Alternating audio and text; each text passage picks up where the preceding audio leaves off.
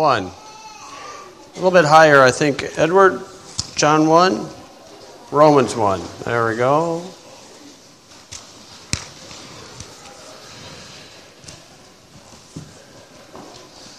Okay, John 1 and Romans 1.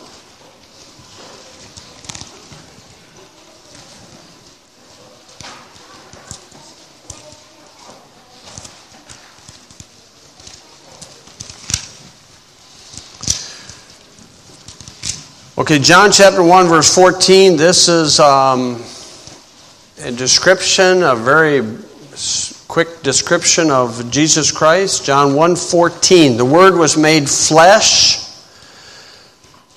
and dwelt among us, and we beheld his glory, the glory of the only begotten of the Father. And then notice, full of grace and truth. Those are uh, opposite polars. Uh, they are, it's like an oxymoron. Grace and truth. Grace is on one side, truth on the other, but Jesus Christ is full of grace and truth. John bare witness of him and cried, saying, This was he of whom I spake. He that cometh after me is preferred before me, for he was before me, and of his fullness have all we received, and grace for grace, for the law was given by Moses but grace and truth came by Jesus Christ. Okay, grace and truth. Now, if you would, Romans chapter 1. Okay, grace and truth. The liberals claim to be gracious, and the conservatives claim to be truthful. Okay, so one is on the extreme side here, the other's on the extreme side there. Uh, I would dare say they don't have the truth and they don't have the grace. But even at that, Jesus Christ has both grace. They usually don't go together. Those two, don't, it's like oil and water. But Jesus Christ is a perfect balance of grace and truth. And he wants us to have that grace and truth. Polar opposites, yet Jesus Christ is full of grace and truth. In Romans 1:18, Okay, secular uh, people usually will interpret God in the Old Testament as being strict, harsh, okay, and the God of the New Testament is compassionate, gracious, kind, and loving. That's usually how they try to portray Him. Okay, they're wrong because God is unchangeable. Okay, Malachi 3 6, uh, He changes not. Okay, but uh, God is incredibly gracious and patient, but there is a limit. He does have a limit. And so I'm going to go with that this morning when God has had enough. In Romans 1, verse 18, before we read this, let's go and pray. Uh, Lord, I do ask you to help us to understand your words. I pray you'd help us to be faithful to them. Your words help us to understand you better as a result of this and help us to uh, appreciate the grace that you have displayed. In Jesus' name, amen. Okay, Romans 1.18. Okay, at the beginning, you'll see somebody is holding the truth. So that's good, holding the truth. At the end, in verse 32, somebody's worthy of death. So, how do you go from holding the truth to be worthy of death? In Romans 1. This is a very quick uh, summary of the world and or society and or an individual who may be holding the truth but then are worthy of death. And so this is when God has had enough. So Romans 1:18 for the wrath of God is revealed from heaven against all ungodliness and unrighteousness of men who hold the truth in unrighteousness. Now that verse changed in every new Bible because the revisers of the new Bibles are holding the truth in unrighteousness. That's the fact there. That's why they change it. Okay, now let's start going down this digression. Because that which may be known of God is manifest in them, for God hath showed it unto them. For the invisible things of him from the creation of the world are clearly seen, being understood by the things that are made, even his eternal power and Godhead, so that they are without excuse. Okay, God himself is working on every single person. Okay, he is working on everybody outside of our presence. He does want us to witness for him, but God is witnessing on every single person. John 1 9 says that he has lighted the heart of every man. Now, how you know that is as soon as that person believes in some form of justice in any way, that is evidence that God has witnessed to them. Okay, that person stole from me. Okay, so what do you want? You want it back? Yes. Okay, that's justice. That is evidence God has manifested himself to you. Doesn't matter if they say atheist or what agnostic, doesn't matter. Okay, that's evidence. Verse 21 Because that when they knew God, they glorified him not as God, neither were thankful. Step down. But became vain in their imaginations, and their foolish heart was darkened. Okay, vain in their. They imagine. Where the young kids are being told these goofy imaginations, and so, you know, a kid, you know, 10 years old, I think I'm a girl, but I was a boy when I was, you know, at beginning assigned that. Okay, how about this? If you're 40 years old, go to a restaurant and say, I identify as being a senior citizen. Do I get the discount? I mean, that'll work. Okay, that's vain in their imaginations. Okay, and their foolish heart was darkened. Then 22, professing themselves to be wise, they became fools. Okay, so there's the professor. That's where they get the term. Changed and changed the glory of the uncorruptible God into an image made like unto corruptible man, and to birds and four footed beasts and creeping things. So there's evolution in reverse. If you read it backwards creeping things, beasts, birds, man, God. Okay, so What's God's reaction to that? Verse 24 Wherefore God also gave them up to uncleanness through the lust of their own hearts to dishonor their own bodies between themselves. Now, you don't need the Bible to understand that. Read history. You go back in history and read it, and you'll see nations that do this fall apart. I mean, you got several examples Babylon, you've got Greece, you've got uh, Media Persia, you have Rome. Those are simple examples. You have Assyria. Okay, you read from history, you, they follow the same pattern. Uh, verse 25, who changed the truth of God into a lie. That verse is changed in every new Bible also, because that's what the revisers are doing. They're changing the truth of God into a lie and worshiped and served the creature more than the creator who is blessed forever. That's the people's reaction. Oh, down there at the dairy farms, they're mistreating little calves. Uh, what are they doing at abortion clinics? Which way, which way are they going to go on that? I'm not justifying either side, but worshiping the creature more than the creator who's blessed forever. Amen. Uh, next verse. For this cause God gave them up unto vile affections, for even their women did change the natural use into that which is against nature, and likewise also the men, leaving the natural use of the woman, burned in their lust one toward another, and to little boys. Okay, you can just get that. Okay, men with men working that which is unseemly, and receiving in themselves that recompense of their error which was meet and even as they did not like to retain God in their knowledge, God gave them over to a reprobate mind to do those things which are not convenient. Okay, notice 24, God gave them up. 26, God gave them up. 28, God gave them over. That's when God's had enough. He gave up. He's done this throughout history, He's demonstrated this throughout history. Then he starts giving a list being filled with all unrighteousness, fornication, wickedness, covetousness. Ouch. Ouchie on that one. Maliciousness, full of envy, murder, debate, deceit, malignity, whisperers, backbiters, haters of God, despiteful, proud, boasters, inventors of evil things, disobedient to parents without understanding, covenant breakers, without natural affection, implacable, unmerciful, who knowing the judgment of God that they which commit such things are worthy of death. Not only do the same, but have pleasure in them that do them. Okay, that's quite a list. If God committed the execution on every one of those violations, how many would of us would be in here right now? Okay, that's quite a list there.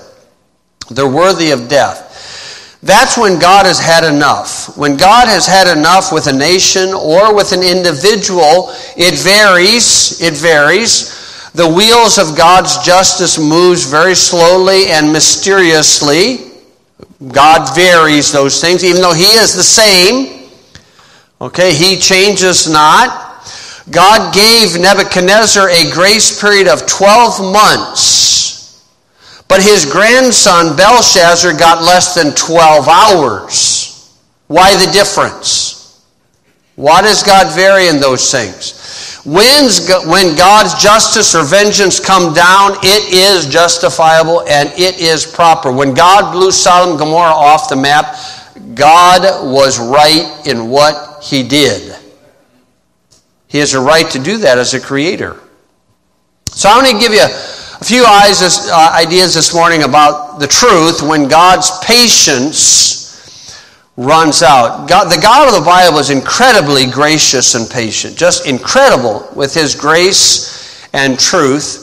Uh, but there does come a limit to his patience. He does have a limit. So, first off, I want to look at the attributes of God that they are unchangeable. Uh, Malachi 3, verse 6, it says, I, the Lord, I change not. Now, the main three attributes of God would be going this fat in this manner, and it has to be in this chronological order holy, just, love. That's all through the Bible. Holy, just, love. The first two is what every athlete expects of an umpire and a referee holiness, justice. Holiness meaning he's going to obey the rules of the game and he's going to blow the whistle on somebody who doesn't obey the rules of the game. The umpire and the referee is not given in the rules any place that he can forgive an offense. If he did, the fans would go crazy. and funny, that's what the world wants in an umpire or a referee holiness and justice. They don't want forgiveness. Now, in God, when you transfer that to God, they want, oh, love, love, God's love. he forgives everybody. That's what they want from that. No, He's holiness first, justice second. Love was manifested at Calvary. Love is by His grace. Okay, now, God is slow to anger, long suffering and patience. Now, we'll read some, a few places in the Old Testament so we can verify this. Exodus chapter 34. So, when somebody claims that in the Old Testament God was strict and harsh and a disciplinarian, and God of the New Testament is compassionate and merciful and love, uh, that is not true. God is the same in both Testaments. Jesus Christ is full of grace and truth. Okay, full of both of them. In Exodus 34, God is, um, is, is talking firsthand to Moses. This is the beginning of the nation of Israel. And uh, the Lord passed by, and he's going to demonstrate himself to Moses. The Lord passed by before him and proclaimed the Lord, the Lord God. Oh, then he says this merciful and gracious, long suffering. That means suffer long to put up with somebody and abundant in goodness and truth, keeping mercy for thousands, and forgiving iniquity and transgression and sin. And that will by no means clear the guilty, visiting the iniquity of the fathers upon the children, upon the children's children, on the third and fourth generation. That's where his holiness and justice is. And the first aspect would be his love. Exodus 34. Then you got Nehemiah 9, verse 17. Nehemiah. That's that short guy. Nehemiah chapter 9, verse 17, the last half of the verse. We'll just look at the last half. Nehemiah is bragging about God, and then he says this about God.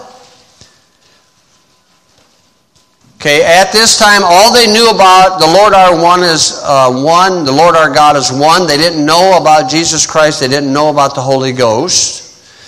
So he says this But thou art a God ready to pardon, gracious and merciful, slow to anger, and of great kindness, and forsookest them not. Okay, then one more place in the Old Testament, Jonah chapter 4.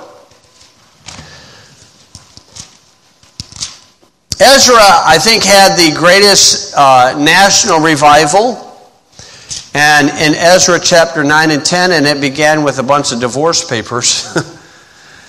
okay, uh, Jonah had the greatest citywide revival with Nineveh, but he didn't want him, he didn't want a revival. He wanted, he wanted God to wipe out these Assyrians. And the reason why he wanted that was twofold is one that he said back home 40 days Nineveh is going to be destroyed, and it gone past the 40 days, and so his name was on, on, at stake here.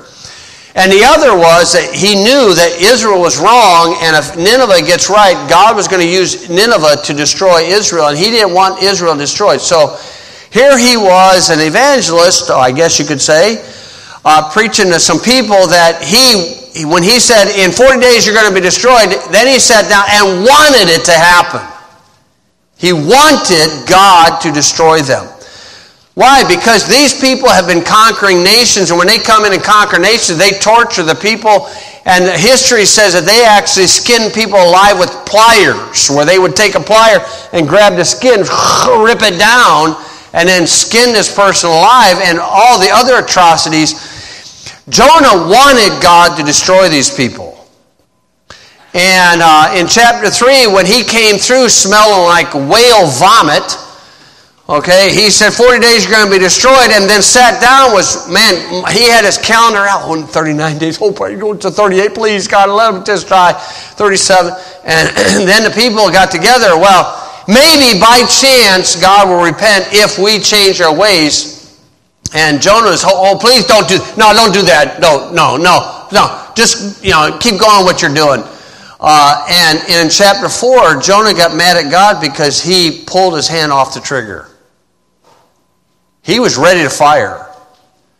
Pulled his hand off the trigger, and then Jonah's mad about it. Jonah chapter 4, verse 2. He prayed unto the Lord and said, I pray thee, O Lord, was not this my saying when I was yet in my country? Therefore I fled unto Tarshish, for I knew, I knew, I knew it, that thou art a gracious God and merciful, slow to anger, and of great kindness repentest thee of evil. Jonah says, I knew that. Oh, I didn't want you to do it. I wanted you to fry these people. And uh, he didn't.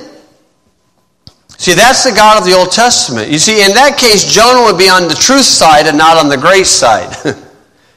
And in that case, God was on the grace side. But they received a pardon because in chapter 3, verse 9, they fulfilled the qualifications for a pardon. Okay, God in the Old Testament is long suffering. Okay, if you were, okay, let's say God gave you 24 hours that you can be God. What would you do in 24 hours? Would you say, uh, does that mean I can use a lightning bolt when I wanted to? The Antichrist will be able to do that. In the tribulation, when he has a nonconformist, exposes him during a public meeting, the Antichrist will say, and he'll fry the guy right in the spot. That will be a very effective tool to convince people as you smell this smoldering body and this hair the Antichrist has that capability. How many people would be dead if you did get the qualification of God Almighty? I would have to say you'd have to, you know, come on, you'd put some people in line with that, would you not? Some people throughout history, some people in America that deserve that, you know, spark. Of course. And and God has done that on occasion or in different methods. He's a God of variety, he has different ways of doing it. But God, it says that He's ready to pardon. So I want to give you a few examples throughout the Bible that God has executed somebody. He's either done it through a court structure of Israel through the death sentence, or he's there's been times he just said, "Nah, I think I'll do it." Okay, where it's individually done, or when it gets to be a nation, he kind of he kind of does a little more pizzazz there, I guess you could say. In 1 John chapter 5 says there is a sin unto death. There is a sin unto death. Now, the advantage God has over you and I is God's reading the heart and He reads every motive where we don't have that capability. So, if we start in front of the Bible, God put two people in the Garden of Eden and He said, Don't you eat of that tree. If you do, you're dead. Well, Eve ate them out of house and home, and so she ate it after probably the serpent ate it. See, watch this, Eve. I'm going to eat it. That's good. I'm not dead, so go ahead and try it. You'll be wise. Your eyes will be open. So she ate it, and then Adam shows up. Maybe he's standing there. And he said, Why don't you have some, dear? And then he realized, Oh, she bit the big one.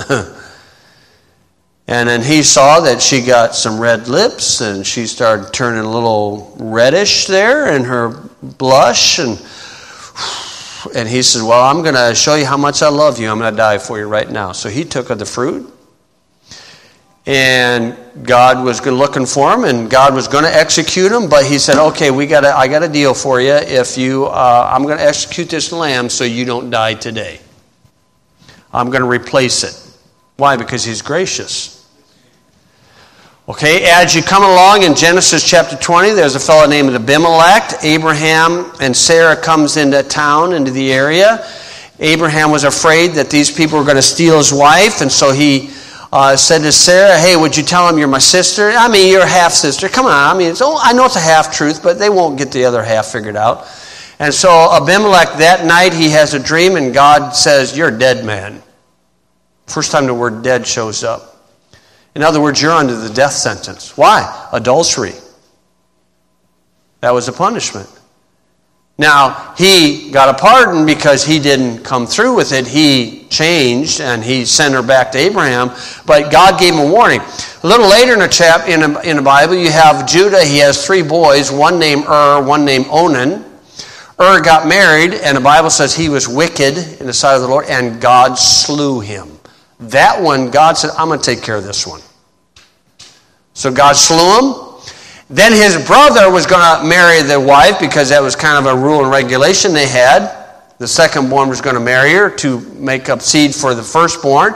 And he committed a eh, kind of a perverted act, I guess you could say. And the Lord said, Okay, you're dead. Slew him right on the spot. Now, when God has these uh, death sentences and these sins unto death, you know the Lord doesn't execute it every single time.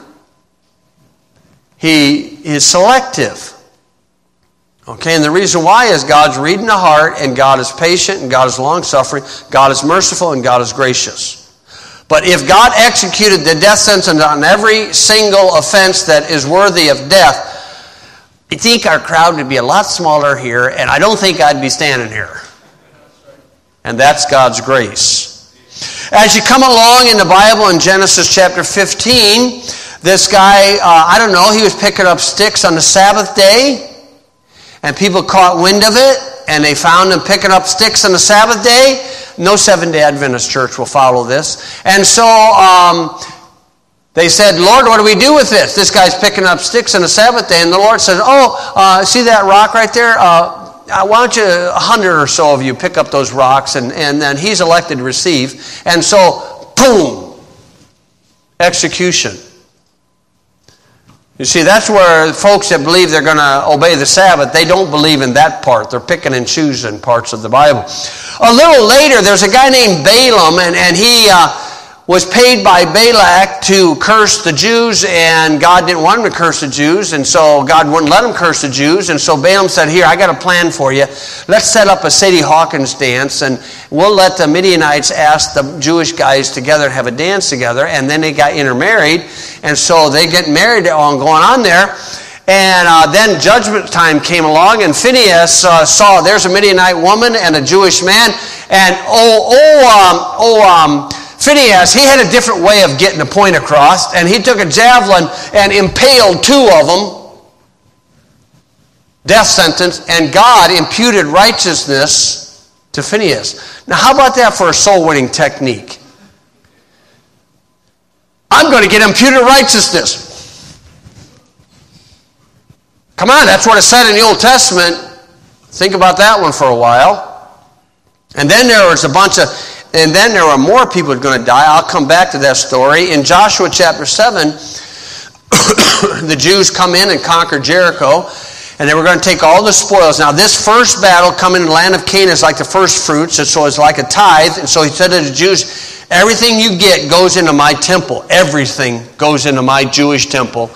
Well, Achan uh, thought, man, he has enough. He was rich. I mean, Achan was a socialist, and so he wanted to get his own stuff. And so Achan kept a, wedge of gold, some silver, a Babylonian garment, you know, expensive garment, and uh, hid it in his tent. And then they had a battle. 36 men died because of Achan. And the Lord said, Joshua, what are you praying for? He said, get up. You got to you got to have some judgment going on here. And he said, let's do a cast some lots. And the lots fell upon Achan. And Joshua said, okay, confess. And Achan said, well, I stole this and that and this and that. Uh-huh. And he said, okay, fellas, you guys had picked up them rocks? Okay, let's try it again. Execute him on the spot. What was he doing? In essence, he was keeping the tithe. If God executed that one, ooh, ouchie. Okay, and that one. As you come along in the Bible, you have Hophni and Phineas. They were two wicked boys. Now, on those two, God just had them die in battle, he, but he killed them, Hophni and Phineas. And then you have a guy named Hananiah who was a smart aleck to Jeremiah. Jeremiah was the last prophet of Jerusalem, and Jeremiah was going to, he was giving illustrations what was going to happen in Jerusalem because they were apostatizing. And Hananiah was doing the exact opposite. And Jeremiah said, Okay, we're going to find out who's right. You're going to be dead in less than two years. And the guy died seven months later. Now, that would be pretty effective. God killed him. God had had enough with Hananiah. He had fed up with him. Now, things change in the New Testament. No, they don't. You go to Acts chapter 5. You have two people, a husband and wife, Ananias and Sapphira. They sold a piece of property, and uh, they came and brought the, the amount to Peter, and he said, We sold a piece of property for such and such, and we want to give it to the temple. We, I mean, we want to give it to the, the uh, church here. Because you see, they had saw a lot of people give something to Peter, and hey, when they gave something to Peter, they kind of got bragged about a little bit, and so they kind of thought, hmm, that'd be a good idea. And so, uh, but yet they held back some of the money. Now, there was no sin in holding back some of the non- money. The sin was they claimed they gave all. And what was their root sin? The root sin was spiritual pretenders. They were pretending to be spiritual. You ever have somebody say, Amen, brother, amen, amen, brother, things are right, amen, brother. Kind of putting on a show here, aren't you? If God executed judgment up for everybody who pretended to be spiritual, ouch. Right? That's right. That's the God of the Bible. In Acts chapter 12, there's a guy named Herod. Herod was giving a big, glowing political speech. He was bragging about himself, just like about all of them do. And God killed him on the spot with worms. Now, that would have been rather interesting to see how that worked out. In other words, what I'm saying is God has demonstrated execution of justice when he has had enough. If you would go 1 King, uh, 1 Corinthians chapter 10. The God of the Bible is the same yesterday and today forever. And he does have enough. Thank God we're living uh, under his grace. If you're born again, you have his grace. And if God wants to take me out, man, that's just a quick trip to heaven. Thank you very much. And you know, I have actually prayed to the Lord on several occasions God, if I apostatize, if I started preaching false doctrine, would you just do me a favor and kill me? I've actually prayed that. I don't know if He would do it, but I would appreciate it if He did. Why? Because I'd rather be held accountable on the spot than to have to a bunch of time to deal with all this stuff that I've messed up. Okay, but in 1 King, Corinthians chapter 10, if you kind of use your speed reading skills, you'll see that this is some history for Israel. And these are ensamples for us, verse 11, ensamples. So this is telling us there is a time where God has had enough. You know, and now God will give several warnings to a nation. God is giving warnings to America, but when He has had enough, there's nothing you and I are going to do about it. Okay, now, if you drop down to verse 7, you'll see 7, 8, 9, 10. Neither, neither, neither, neither. So you have four stories under the Old Testament where God had enough. And the first one is in, in verse 7. That's where Moses, or that's where Moses was on top of the mountain speaking to God, and God's telling him, giving him some things there. And Aaron uh, his brother had, had a bunch of contemporary Jews that wanted to have a contemporary eh, musical service. And so they invited Sandy Patty, you know, Sandy Patty Stein, and, and then Amy Grandy Stein. And so they had this whole thing going on, and they were dancing away, and they had this golden calf. And Moses comes down, and Joshua comes down. It sounds like we're having a war in the camp, Moses. And Moses says, Oh boy, we can't have that. So then they show up and then they see the nakedness and the dancing. And uh, Moses, God was getting ready to kill two to three million people. He was getting ready to wipe them all out. He had had enough. And Moses said, Oh, please don't, uh, please, God, don't do that. Don't do that. He said, Okay, here's what I'm going to do. I'm going to wipe out 3,000. 3,000 people died right like that. Because God had had enough with that 3,000. He had enough with all of them, but Moses interceded and his prayer saved the life of over 2 million people. That's a prayer warrior. Okay, then in the next story, that's in verse 8, it says 23,000 died in one day. That's the one with the guy impaled the woman and man. 24,000 died in all, 23 in one day. The only one happy that day was the morticians, okay? So they raked in the dough that day. And so, uh, 24,000 died in all. There were more going to die if that guy hadn't have done that, impaled those two uh, people. God had had enough. The next one is verse 9 tempting Christ. You ever tempt Christ?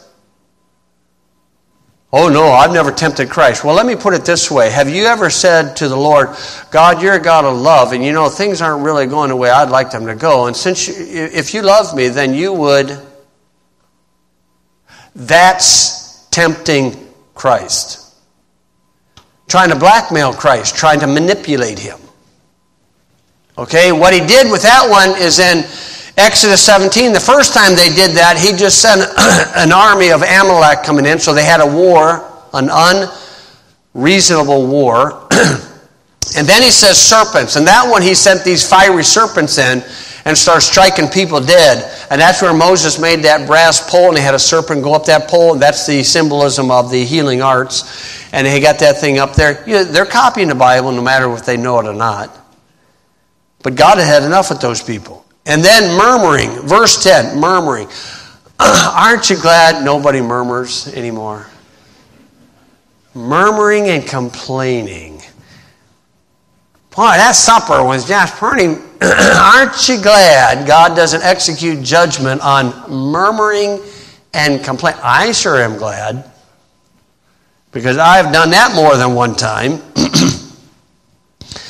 And that one he did take care of a few times. In Numbers chapter 14 through 16, uh, Dathan and Abiram and Korah, they got together and they murmured against God and against Moses. And so God's, you know, when, when it gets to be pretty big deal, God is sort of kind of uh, spectacular. God has a knack for the spectacular when it gets to be a bunch of people.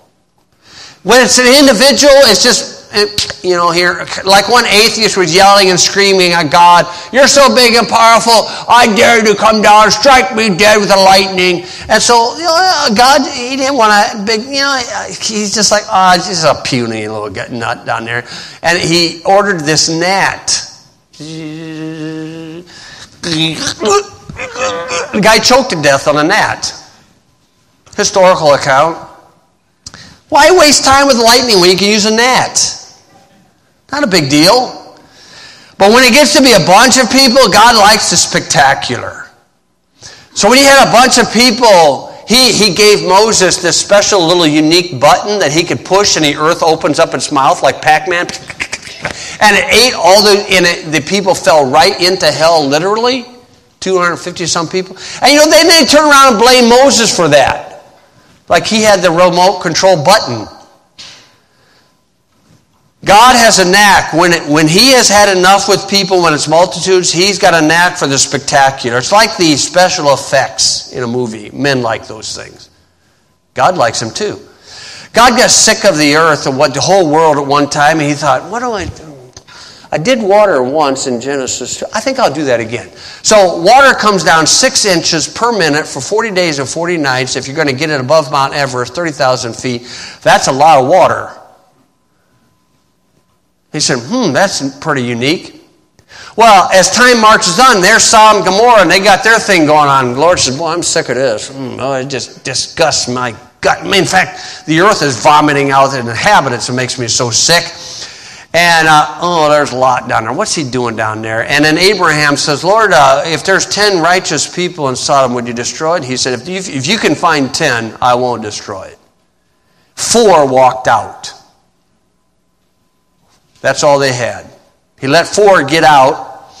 And the Lord said, Well, let's see, I've done water a couple times. Let's try, let's try fire. So all of a sudden, sulfur comes raining down from the sky, and I've got some of that sulfur at my home in a, in a little thing, and that place was a reverse fireworks. The fireworks came down, blew it off the map. And God did right in what He did. Then, if you follow the 10 plagues, I mean, that's a fabulous thing. Then the Red Sea crossing, then the Ten Commandments. In Exodus chapter 23, he just thought, I'll just send a bunch of hornets in. So these hornets come in. Can you imagine the military records? We had to leave, the hornets were going after us. That's a very effective message. All these little, getting stung right in the face and everything. Uh, in Joshua chapter 10, the Lord said, you know, I like to skip rocks across the water. So he threw some hailstones from heaven down, boom, boom, boom, like this. And God has a, knack for the spectacular. Now, with the Tower of Babel, he wanted to try something different. He didn't want to wipe them out. He just wanted to have a little fun, a little confusion with the Tower of Babel. So you get all the world together. Everybody's all happy. We're all united. You know, we're going to build this uh, tower, may reach into heaven. And so the Lord says, nah. Let's change your languages. So this Oriental guy's up in a scaffolding. He said, oh, and, and he was saying, throw me up a hammer. And the one below thought he said, hit me with a hammer. So he took the hammer and threw it and hit him. And then they had a big fight. And all this languages was going on. I mean, what a, what a very unique method. God is a God of variety. He didn't kill anybody. He just split them up and said, okay, you go east, and you you go east, and then you will, anyway, what you been doing to me? You go on south, and then uh, you go on over east, or north and east, over to Europe, fellas. That's where we're going to kind of split you people up because you're going to hate each other after a while. And so that's what we're going to, that, that's a pretty good plan. I like that plan. The Lord's got different ways. You know, when a lost sinner, a lot of times a preacher will get preaching expounding. You die, you're going to go to hell, you're going to split hell wide open. No, you're not. A lost person that dies and goes to hell is going to be dropped into hell like a pebble dropped in the Atlantic Ocean. And God is right in doing that. Now, the greatest show is yet to come. You know, usually at the fireworks at the end, you got the grand finale. Wait till you see the grand finale when Jesus Christ comes back. 200 million man army in the valley of Armageddon. What are they there for? Oh, the Lord's just got a plan. Here comes this chariot coming down on Mount Sinai, and it's scooting above the ground about two feet, and it's shooting flames out, and it's a torching them here, torching them there, and he's coming in there whipping around, and the dead and the blood's going to be up to the horse's bridle. You talk about a grand finale. That's God when He's had enough. But you know that God until that grand finale is ready to pardon. He glorifies in pardoning people. When they come to Him and, and uh, seek His pardon. Now, with Jeremiah, in Jeremiah chapter 5, God said, Jeremiah, you know it's a mess. He said, so in this case, what I'm going to do is uh, we got three military campaigns coming in. On the third one, I'm going to have Babylon surround Jerusalem for a year and a half. Now, you know what's going to happen, Jeremiah, so make sure you got some foodstuffs here. And people are going to run out of food, and they're going to be starving to death. They're going to eat their own kids. Because, you know, they, come on, they, they don't care for their kids anyway. They've been aborting them like crazy. They've been offering them Molech. So they're going to eat them. And he said, Jeremiah, here's what I want you to do. I'm going to show you how bad it is. I want you to go to all the Jewish synagogues, and I want you to go all the political areas. If you can find one, I'm looking for one. If you can find one person who seeks the truth and executes judgment, I will pardon Jerusalem. Just looking for one. He didn't find one. And that's why Jerusalem was destroyed by Babylon. If you would look at Ephesians chapter 2. I would dare say, if we, if we see how God has done this through history, and if you're honest about your life, you know sometime in your life you've committed something that was worthy of death. Sometime in your life. And we have a gracious God. And you know what? We are not going to understand that grace until we get to heaven and he brags about his grace. Ephesians chapter 2, verse 4. It says this But God, who is rich in mercy, for his great love wherewith he hath where he, he hath loved us, wherewith he loved us, even when we were dead in sins, hath quickened us together with Christ, by grace ye are saved and hath raised us up together and made us sit together in heavenly places in Christ Jesus. Mercy is, I'm not going to hell. I deserve to go to hell, that's mercy. Grace is, I'm going to heaven. Verse 7 that in the ages to come, he might show the exceeding riches of his grace in his kindness toward us through Christ Jesus. We're going to start, it's going to start percolating in at the judgment seat of Christ, where the Lord's going to say, How about this? I'm going to give you this. I should have done this, but I won't do that. I'm going to do this because you relied upon my Son. You see, the goodness of God should lead us to repentance. There's a fellow that's in heaven now. I learned a lot of Bible from this man named Peter Ruckman, Dr. Peter Ruckman.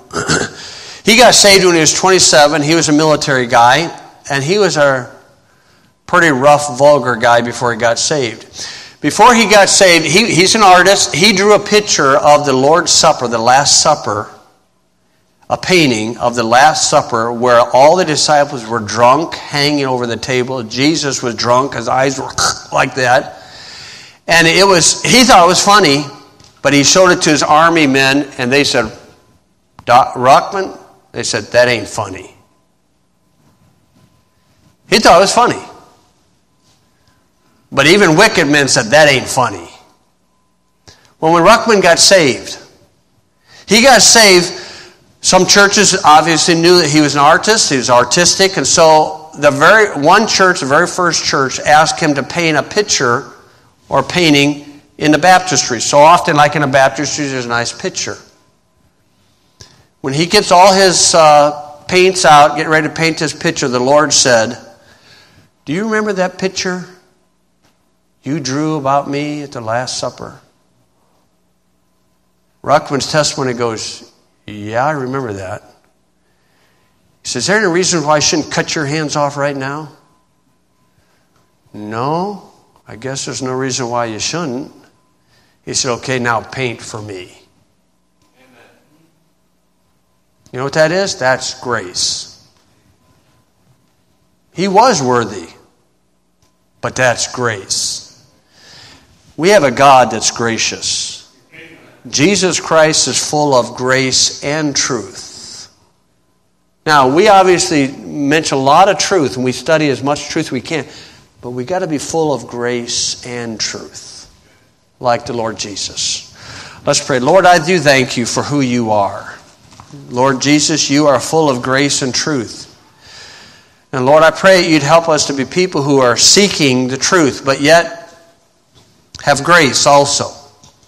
Yes, there's times that justice needs to be served. Yes, there are times. And you have demonstrated through history, yes, there's times where you've had enough. But you are ready to pardon. You are ready to pardon. And the Lord Jesus, full of grace and truth. Help us to be Christ like, full of grace and truth. Help us to glorify you for your grace. Thank you for it. We love you for that grace that you have demonstrated. And being born again, man, what a blessing to have that. Well, heads about and eyes are closed. The piano will play. The altar's open if you'd like to use it.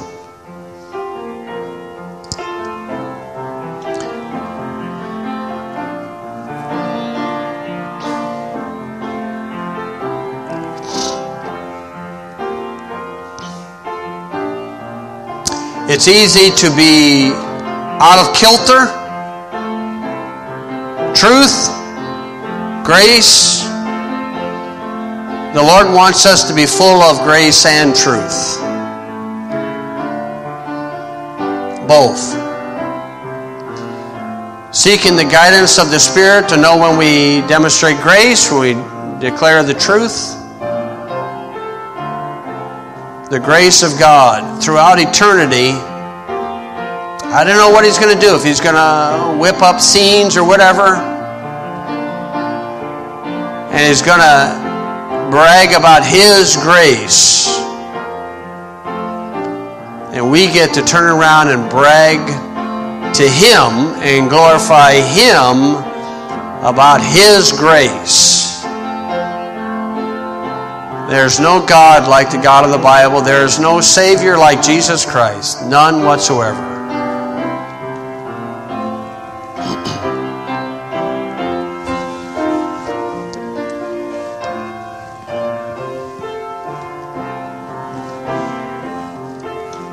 Lord, thank you for your grace. Thank you for your mercy. Thank you for your long suffering. And Lord, I just pray that you'd help us to uh, repent toward thee because of your goodness. Help us to walk with thee because of your goodness.